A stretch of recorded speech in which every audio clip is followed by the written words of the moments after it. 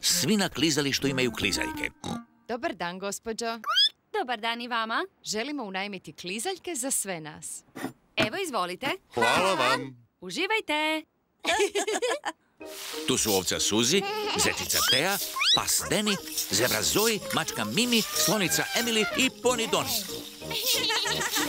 Pepini prijatelji jako dobro kližu. Pepa također želi klizati. Svima. Bok, Pepa! Je li ti to prvo klizanje u životu? Da. Želiš da ti pokažem? Ne, hvala, Suzi. Sigurno ću znati sama. Dobro, dođi onda.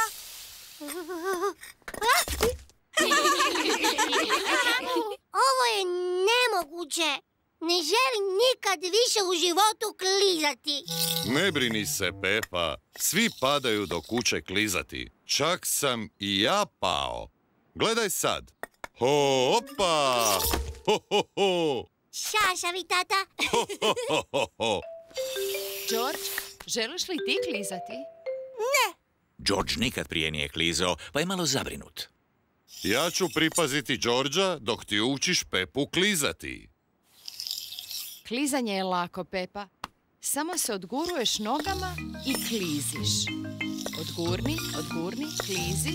Vidiš. Odgurni, odgurni, klizi. Odgurni, odgurni, klizi. to je lako. Mama, sad mogu probati sama. odgurni, odgurni, klizi. Odgurni, odgurni, klizi. Jako dobro, Pepa. Znam klizati.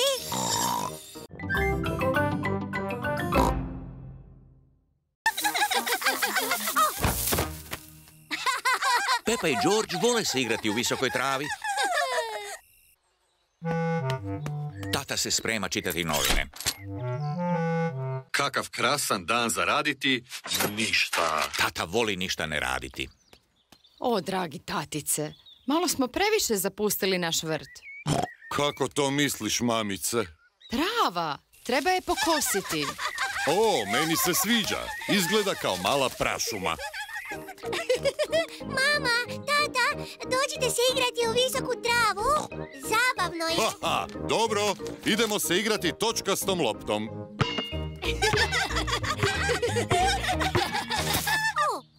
Gdje je nestala?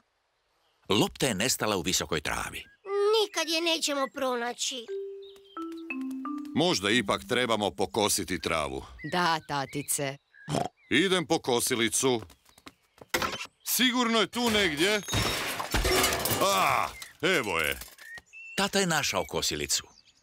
Kako je stara i hrđava. Glupost. Pokosit ćemo travu za čas. Ipak je malo zahrđala. Mogli bismo nazvati djeda i posuditi njegovu veliku kosilicu. Ne trebamo zvati djeda. Trebamo samo malo jače gurat. Tatina kosilica nije baš dobra. O, znam. Ipak nazovimo djeda. Pozdrav, djed pri telefonu. Bog, djede, možeš li nam pomoći pokositi visoku travu? O, naravno, odmah ću doći. Bog, mislim da je to posao za Beti.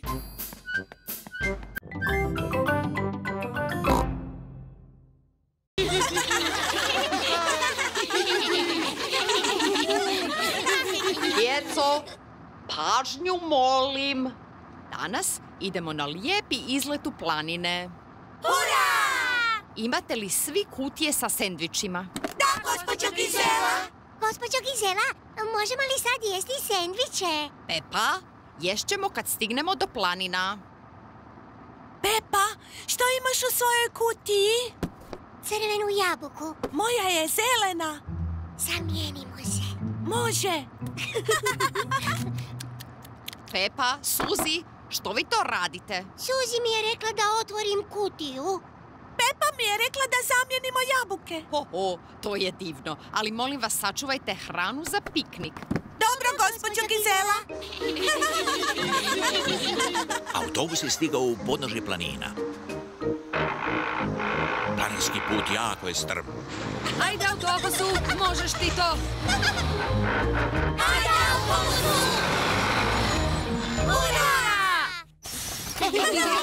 Pepa i njezini prijatelji stigli su na vrh planine.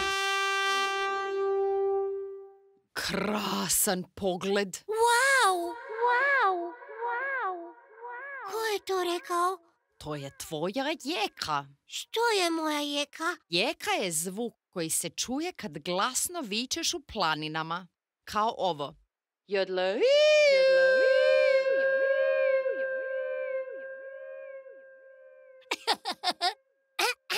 Jodaleio!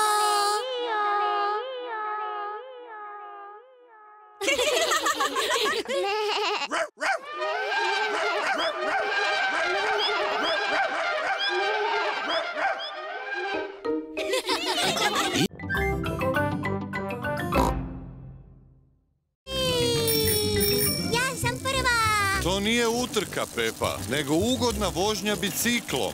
Da, da, da, ali i dalje sam prva!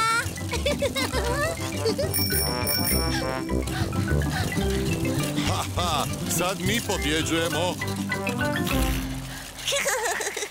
Ne volim voziti uzbrdo! Pepa, mi smo pobjedili. Ne, niste. Jer se nisam utrkivala. Ali sad se utrkujem. Ne možete me stići. Haha, ti mala prevarantice. Bog, patice, vozimo se biciklima. Bog patkice! Ah, zaboravio sam koliko uživam u vožnji bicikla. Oh, mm, oh, zaboravio sam koliko ne volim voziti uzbrdo. Sad je počela prilična uzbrdica. Ne volim biciklirati uzbrdo. Ali sad imamo prekrasan pogled. Ajoj, meni ovo je jako naporno. Mama, ti ne pedaliraš. Oprosti, tata, samo sam uživala u pogledu. Pepa i obitelj uspjeli su se na vrh brijega. Tu su svi Pepini prijatelji. Bog, Mi ćemo se utrkivati biciklima. Hoćeš se i ti s nama utrkivati? može, ali samo ako se utrkujemo nizbrdo. Dobro. Pepa i prijatelji će se utrkivati nizbrdo. Jeste li svi spremni? Spremni! Možete krenuti kad potrubim trubom. Ovako.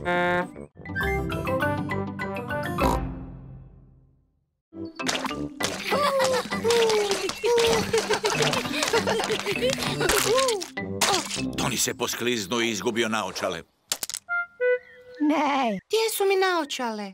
Bez naočala Doni ne vidi baš dobro. George je našao Donijeve naočale. Šašavi, Đorđ. Izvoli. Hvala ti. Doni, zašto nosiš naočale? Moram. Tako je rekao optičar. Što je to optičar? Moj tata je optičar. On provjerava je li ti dobar vid. Kako? Gleda li ti unutar glave? Postoji očni test. Da ti ja pokažem očni test? Da, pokaži mi. Ok. Hm, interesantno. Zatvori jedno oko i reci što vidiš. Sad vidim Đorđa. Sad zatvori oba oka. Sad ne vidim ništa. Hmm, ne vidiš ništa. Jako, jako interesantno. Mislim da ti trebaju naočale. O, stvarno? Da, Doni, idemo doma. Bok, bok, Doni. ne. Bog, bog. Mama, ja trebam naočale. Što? Doni mi je napravio očni test i trebaju mi naočale. Mislim da su ti oči u redu. Ne, mama. Kad zatvorim oči, onda ništa ne vidim.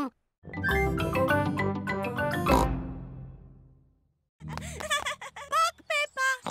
Bok, Suzi. Ovo je moj novi prijatelj, Lavić Leo. Gdje je? Tu nema nikoga. Suzi je izmislila da ima prijatelja.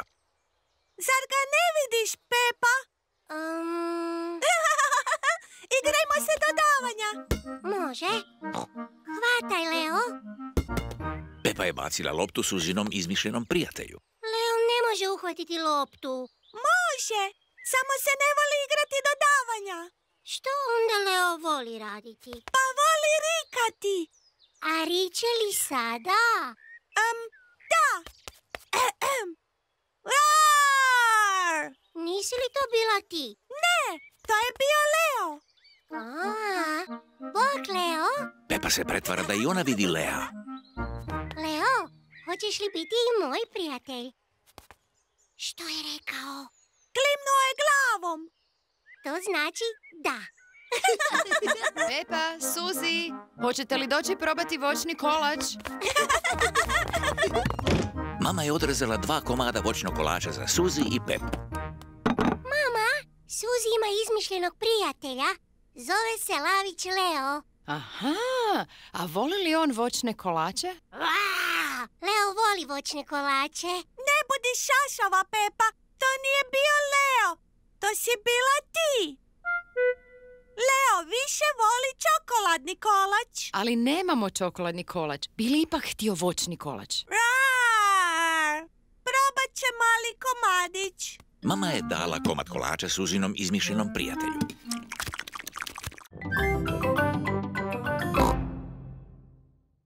Imamo gorivo, zrak za gume i novu automatsku autopraonu. A, dvije ledene lizalice, molim. O, svakako. Denijev djed prodaje razne stvari, čak i ledene lizalice. Hvala vam. Doviđenja. Doviđenja. Cijenja! Jako volim naš auto. Ha, a naš auto voli nas. Zar ne?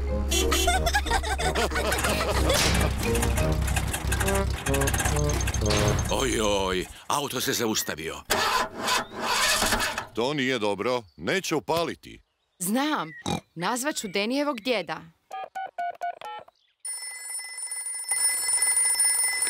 Djed pri telefonu.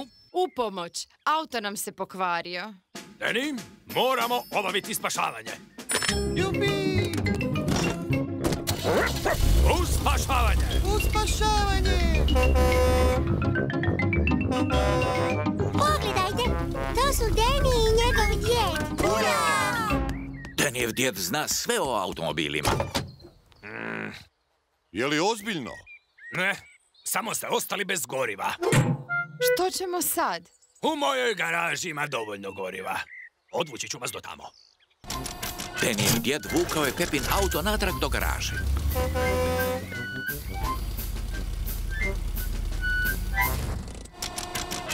Denijev djed napunio je Pepin auto gorivom. Hvala vam, djede. Evo ovce Suzi s mamom u njihovom autu. Bok, Pepa! Bok, Suzi! Ostali smo bez goriva. Denijev djed nas je spasio. Wow, to je uzbudljivo. Vidimo se kasnije. Vidimo se kasnije.